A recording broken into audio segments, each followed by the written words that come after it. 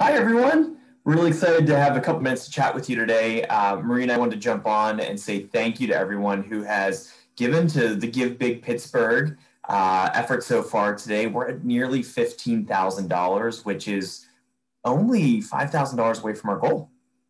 Wow, that's really great. Thank you, everybody. We so much appreciate all your help and um, the benefits that will be provided to those living with ALS and their families will be tremendous.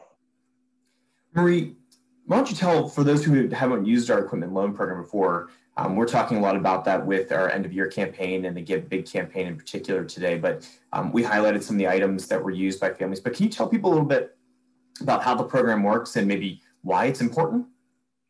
Yeah, so one of the things that we focus on our loan closet is those items that aren't covered by insurance. a lot of people don't understand that there are many things and equipment that people need that just insurance doesn't cover. Something like the portable power wheelchair, the sit to stand lift, and the Liftware. Some of the items that Annette talked about in the video, um, those are items that we provide through our loan closet. We do not charge individuals. We do not bill insurances. They're on loan for to individuals for as long as they need them.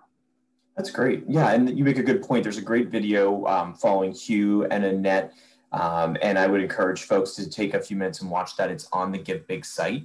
Um, and you can get an insight of how just one family was impacted by the equipment loan program. They had used over five different pieces from us. Um, and there are hundreds of families that are using the, the loan program each year.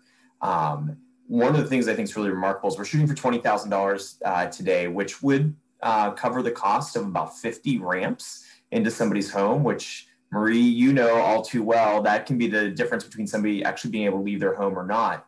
Um, and also, it could cover the cost of about 15 light riders or those portable electric wheelchairs um, that folks want to use. But I, I, think that, that, you know, we're so appreciative of what people are doing today. Um, just $5,000 left. And as, as I mentioned, or maybe you've seen uh, online, uh, there's a match going on and there's still $2,500 left. So what that really means is we only need to raise 2,500 more dollars by the end of today and another 2,500 will be matched. And we'll get to that $20,000 goal, which will help us to fill the gap. Um, you know, it's been a it's been a weird year, and everyone's experiencing a little bit of difficulty. And um, we're lucky that we're in good shape, but we want to try to get our, our fundraising back up to the levels that we were expecting it to be. So this can be this can make a real difference for us. Um, well, anyways, uh, Marie, uh, any last thoughts about this, about how this might help families uh, in the near term?